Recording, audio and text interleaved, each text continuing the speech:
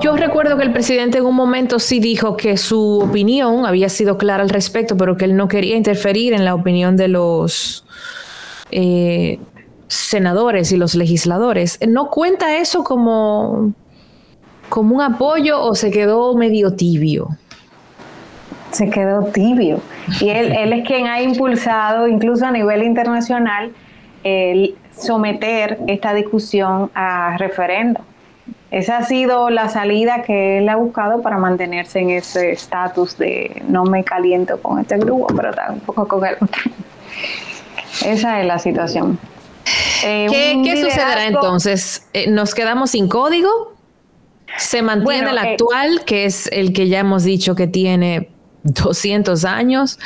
¿Qué habría que hacer? exactamente, ¿qué habría que hacer? ¿Se reintroduce? ¿Cómo, ¿Cómo camina el asunto a partir de ahora?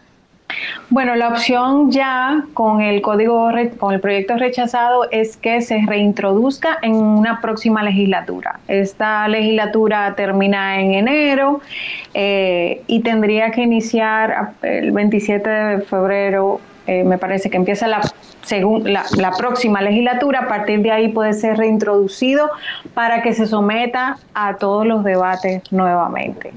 Y espero que, quien reintroduzca por lo menos haga el ejercicio de eh, revisar eh, lo que anteriormente hemos tenido eh, y no someta lo que se sometió ahora producto de esa discusión en la comisión bilateral, porque entonces se van a generar estos debates nuevamente. También tiene que lograrse un consenso.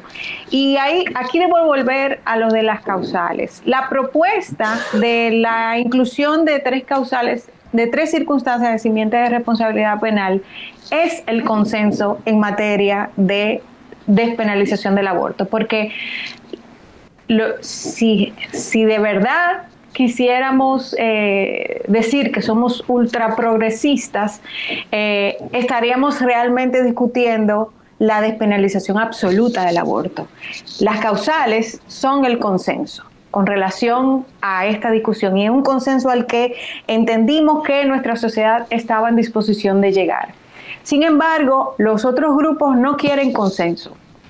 Y eh, la única forma de lograr ese código es enmarcarse dentro de lo que el ordenamiento jurídico dispone. La estrategia de consensuar con quienes no tienen interés de consensuar el código realmente le falló a, los legisladores, le falló incluso eh, a quienes han permitido que grupos conservadores se empoderen dentro del Estado, entonces tenemos que como legisladores buscar una estrategia para realmente encontrar ese consenso. Y yo creo que con relación a, las causales, las causales eh, lo van a hacer y lo son en realidad.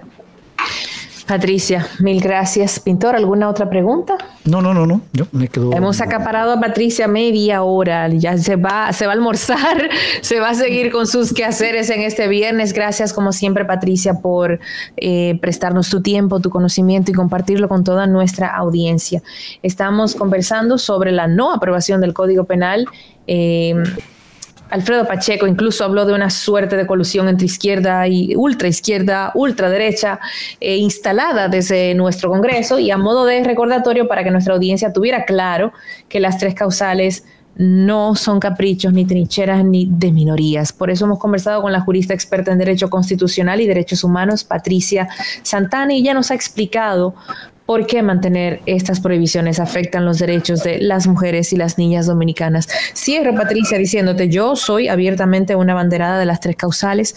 No estoy de acuerdo, sin embargo, con el aborto libre y abierto. Creo que hay otras maneras de evitar un embarazo. Eh, pero entiendo, igual que como dices tú, que las tres causales son el consenso en el medio entre los dos lados. Como lo decía un amigo esta mañana, que me decía, es que las tres causales son las puertas al aborto libre. Yo le dije, pues el día que eso suceda, yo voy a marchar de tu lado. Mientras tanto, tres causales.